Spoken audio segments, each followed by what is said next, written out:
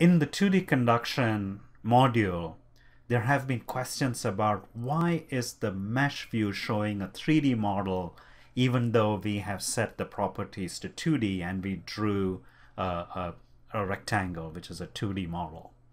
Let me explain that.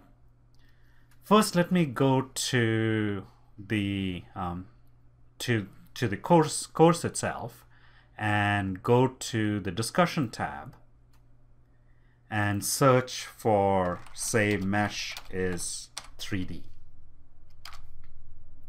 And here are some of the questions that are related to that. Uh, let me pick this particular question. And Rohit Patil um, is asking that, hey, you know, I drew a 2D object and ANSYS is showing me a 3D model view. To explain that, let me first go to um, Workbench. And under geometry, if I look at properties, the analysis type is set to 2D. That means our mathematical model is 2D. Next, let me go to mechanical. And in mechanical, when I look at the mesh, I'll see something like that. And that's just a display um, issue. So what, what ANSYS is doing is, in fact, if I look just at the geometry, it's just showing me a 2D object. Uh, but for the surface body, I need to give it a thickness. And under the mesh view, it's using that thickness of 1 um, to extrude whatever you have drawn. Um, uh, essentially, what you have is a 2D mesh and show a three-dimensional object.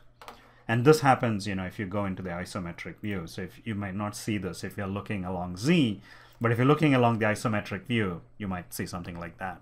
And you can actually turn off this display, turn off the display of the thickness. So I can go under View and deselect thick shells and beams, and then I'll get um, a 2D, you know, mesh.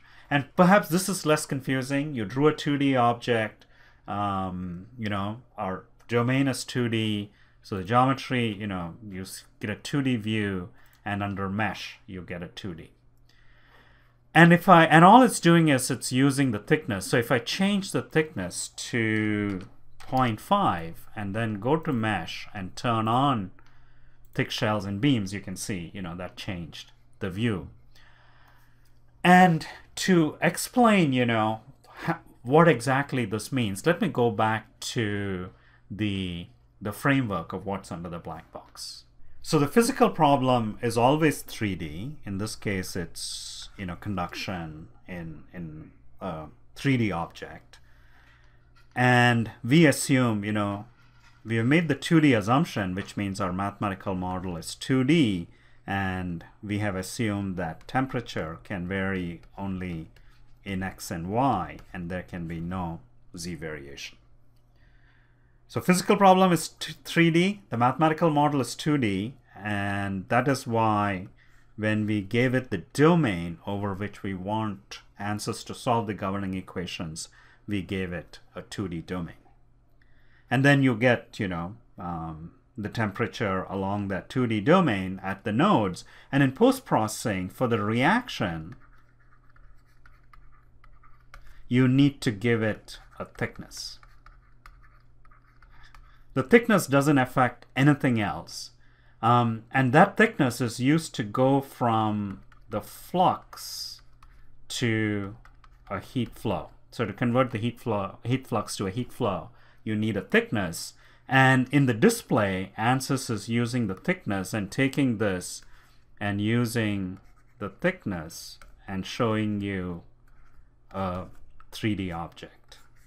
okay, that's what is happening over here.